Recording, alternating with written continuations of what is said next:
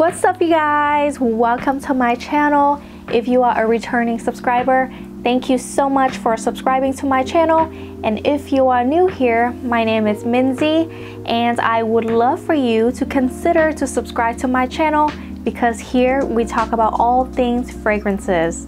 Alright guys, I come back with another full in-depth review dedicated to one single fragrance again today. This type of video is my favorite to do even though it doesn't get the most views of the bunch compared to other kinds of video.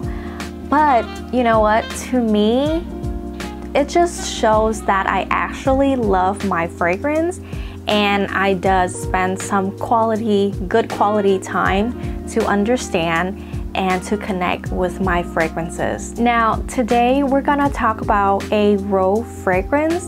And to me, over the years, I find that it's get hotter and hotter for rose fragrances to impress me because this is just one of the most popular genre of fragrance and there are so many rose fragrances on the market that I feel like it's a little bit abundant. I do have quite a few rose fragrances in my collections, but so far there is only one rose fragrance that make two my top favorites for life.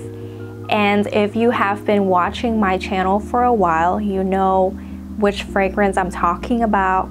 It is Delina exclusive from Parfum de Marly. But of course, we're not going to talk about Delina exclusive today because I already did a full in-depth review for that fragrance. So recently, I just discovered this rose fragrance and I kid you not. I kid you not. I fell in love with this fragrance right at my first sniff.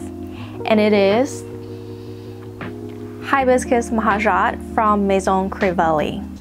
And this is how the bottle looks very simple, beautiful red bottle. And this is how the cap looks. So you can see the name of the brand on the cap and the logo. This fragrance comes in a 50 ml bottle because it is an Extrait de Parfum. And guys, this really took me by surprise at how much I love it just right on my first sniff. Alright, before we talk about how this fragrance smells, let me give you the main accords and the notes first. So the main accords of this fragrance are floral, rose, vanilla, aromatic, green, fresh spicy, soft spicy, fruity, musky, and leather. This is a creation by Quentin Bisch, launched in 2021. So the notes for this fragrance are hibiscus, damask rose, vanilla, cassis, leather, spicy mint, ambrette, and cinnamon. Alright guys, let's talk about how this fragrance smells, shall we? So upon my first spray on the paper, Hibiscus Mahajad gives me Delina, the original one, right away. And that makes sense because this fragrance is created by the same perfumer that makes Delina, which is Quentin Bisch. He is actually one of my favorite perfumers because his style really resonates with me. Now, when I spray this fragrance on my skin, I still can see that resemblance of Delina, but much, much less. In the opening, I get a very bright, uplifting, watery, and juicy blast of the fruitiness and the rose. I honestly don't know what hibiscus smells like, but I get a lot of rose in this fragrance.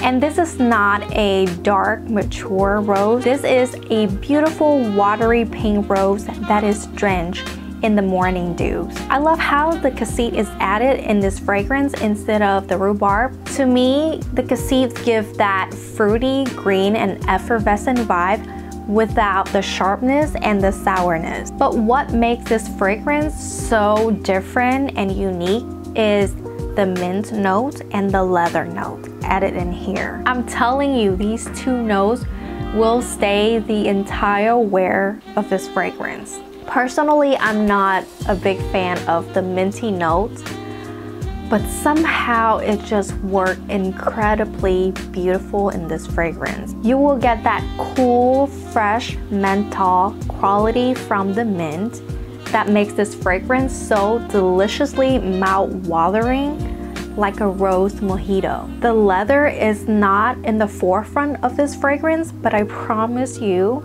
it is there, lurking in the background and giving off such a gothic, dark, and mysterious quality. It sounds odd and doesn't even make any sense, but Hibiscus Mahajad is a beautiful, minty, leathery rose fragrance that smell bright, delightful, uplifting and dark and mysterious at the same time. All right, let's talk about the vibe of this fragrance. To be honest, I haven't figured out the vibe of this fragrance yet. I would imagine a girl who doesn't give a flying F about what people think about her.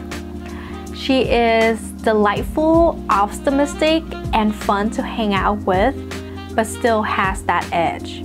She does not let anything or anyone define her. And you better not mess with her because she's not gonna let us lie, okay? She's not gonna let us lie. If you cross her, you're done. So be careful with her thorns and handle her with care. That's my advice. What about the performance of this fragrance? All I can say is the performance of this fragrance it's Stella. It will fill a room. I spray Hibiscus Mahajad on a blotter and I left the blotter in my bedroom and I can still smell it in the hallway all the way to my living room. I love how this fragrance projects and leave a beautiful sillage. I feel like Quentin Bisch is such a master at making his fragrance so powerful without overwhelming. For the longevity, guys, you don't have to worry about it. It lasts and lasts forever, which makes sense because this is an Extrait de Parfum, so it is supposed to last. So I actually got this fragrance in my PR package, but you know me. My opinion belongs to me. I am in no obligations to talk about this fragrance at all. In fact, I was just sent this fragrance. I think because they like my content but they don't ask me to pose or to say anything good about this fragrance. I just genuinely fall in love with it and I feel like this is really worth the price tag because consider the scent, it is very, very unique and the performance is just stellar. It is just a 10 out of 10 all around fragrance that I have nothing to complain about. And I honestly feel the price tag is still acceptable because this is an Extrait de Parfum. Like they give you the best of the best for a very reasonable price. So yeah guys, that is it for my video today. I hope you guys enjoy my review of Hibiscus Mahajad. Please let me know if you have tried this fragrance and what you think about it. But until next time, I love you guys, stay safe, and happy holidays.